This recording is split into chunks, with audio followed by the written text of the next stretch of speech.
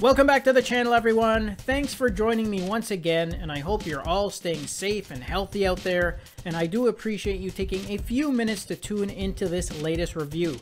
Now in today's show, I have another watch face to give away from our friend Matteo Dini. And yes, this is another usually paid watch face, but all of you are going to get an opportunity to add this one to your collections for free by picking up a code from our very own coupon code list, which means this list has not been shared anywhere else and Matteo created it exclusively for Jibberjab viewers, which is super generous and nice of him. And the link to that code list is down below in the video description, so make sure you click on it if you want to grab a code. Okay, let's jump into a quick overview of the features and customizations you get in this brand new design from Matteo Dini called MD225.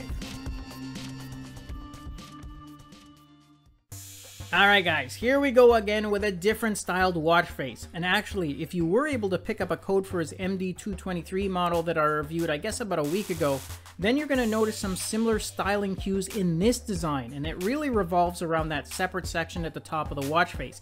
In the 223 version, you had an analog clock there, and in this version, as you can see, you have the digital time. And you also get some theme variations for that area, which can be changed with a quick double tap over top of those time digits. Now, besides this, you also get customizations. You can change the color and styles for those display frames around the time, and that's done by tapping in the 12 position, and then tapping in the 3 position changes the backgrounds for the entire display.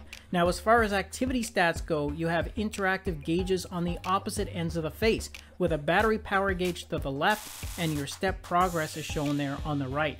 You then have four more stats at the bottom of the watch face for your distance moved, your total steps count, your floors climbed, as well as your last recorded heart rate. And lastly, this model comes preset with a total of four fixed app shortcuts, as well as two more which have been assigned for custom app launchers.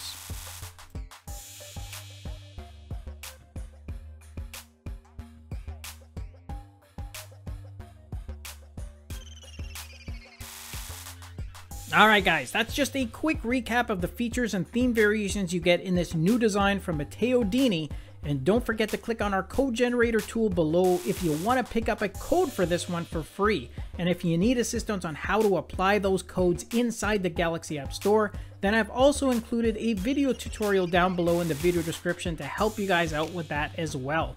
Thanks again for watching the review and stay tuned because we have a bunch more giveaways coming out in the coming days.